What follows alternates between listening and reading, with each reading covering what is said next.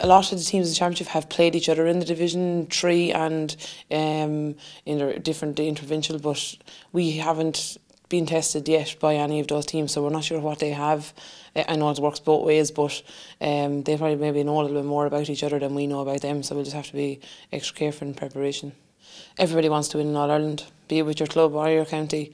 To get a chance to play in Croke Park, that's the prize and that's what we're after this year. We've been in the dark ages not so long ago um, and possibly never thought we'd ever have the opportunity to get to Croke Park.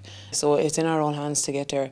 Um, it would mean everything. I mean, just to get there um, as a team, what we've been through in the last few years and the effort we've put in recently, um, it would be a fantastic achievement if we could get there. We have um, came on in leaps and bounds from where we were.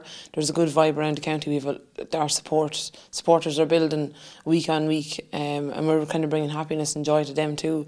And we need them on the big days. Um, the county board have been excellent, and we have a very good management team in place. And we're just kind of as a unit, it's all going well at the moment. So long may that last.